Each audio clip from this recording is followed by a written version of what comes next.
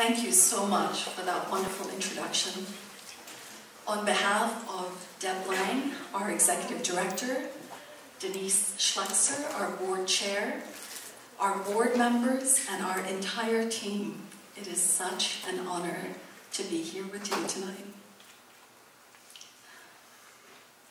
My name is Salma Hasan Ali, and I'm the Chief Inspiration Officer of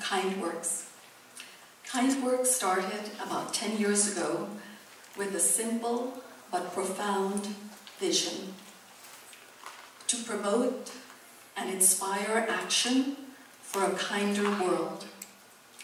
And we do this by making it easy for busy people to take part in community service activities.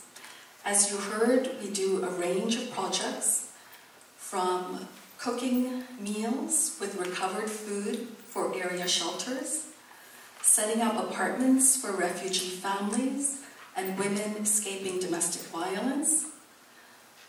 We organize bingo and birthday parties for homeless shelters. We mentor inmates at the prison, play chess there, and so much more. We believe that each one of us can do something to change the world.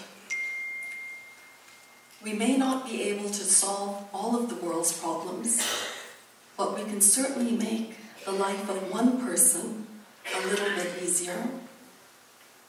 We can make the situation for one family a little more comfortable. We can ease the burden of someone in stress. So let's just start. Because as the saying goes, to the world you may be one person, but to one person you may be the world. We don't want anyone in our county to feel like the other. We're all one community. We're all neighbors, no matter what our circumstance may be at a particular moment. In fact, we want to change the meaning of the word other. Let's make it an acronym, one that stands for one, together, with humanity, equality, and respect. Thank you so much.